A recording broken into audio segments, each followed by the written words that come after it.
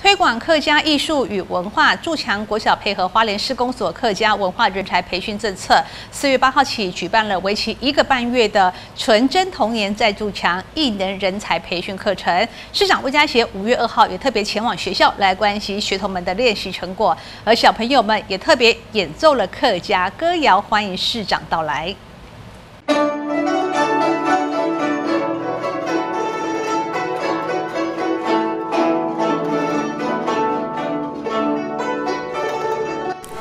经典的客家歌谣由筑强国小正乐团的同学们精彩演出。这是筑强国小配合花莲市公所客家文化人才培训政策开办的“纯真童年在筑强艺能人才培训课程”。市长魏家贤五月二号上午特别前往关心学童们的练习成果。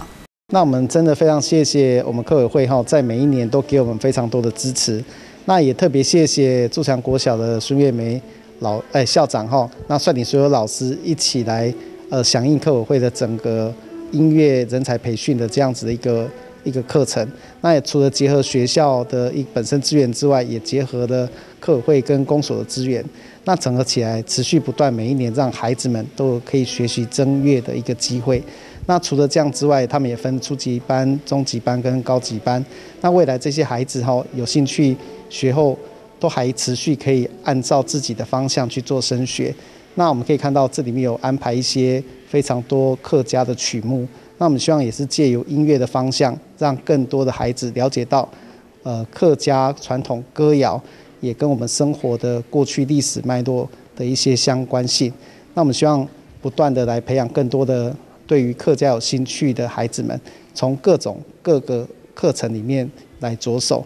纯真童年再筑墙真乐队的培训课程，邀请到东华大学的老师饶天慈前来指导。课程从四月八号到五月二十七号有十四堂课，参加同学有二十位，他们都是利用课余时间练习，除了学习基本技法、指法、曲调。每一堂课也安排一首歌谣当做是练习的主题。市长魏家贤表示，施工所会持续办理各种的人才培训课程，欢迎对客家有兴趣的孩子及乡亲可以一起来学习及与客家相关的才艺，进而认识客家文化。